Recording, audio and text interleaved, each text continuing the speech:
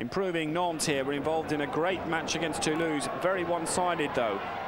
Pedros finding Ouédec. The cross turned in magnificently by Samson Siasia. The 26-year-old Nigerian at the near post, finishing with some aplomb and giving Casanova no chance. And he got a second after just three minutes, two in the first three minutes. Pedros scampering away here down the left-hand side. N'Doram could have scored, and Siasia certainly did. Three minutes gone, the Nigerian had two, and Nantes virtually certainly had the points. N'Doram's flick on to Siasia.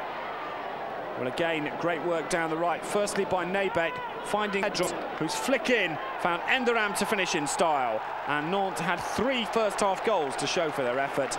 N'Doram had his fourth of the season. Clinical and great stuff from Nantes, who at their best are a very attractive side to watch. Ouédec goes through, the goalkeeper had a nightmare. Well, Casanova